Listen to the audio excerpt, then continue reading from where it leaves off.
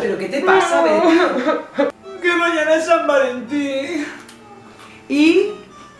El amor es tan bonito. Siempre tendremos París.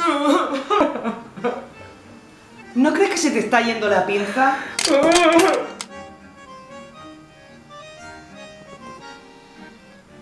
Mejor así. Mm.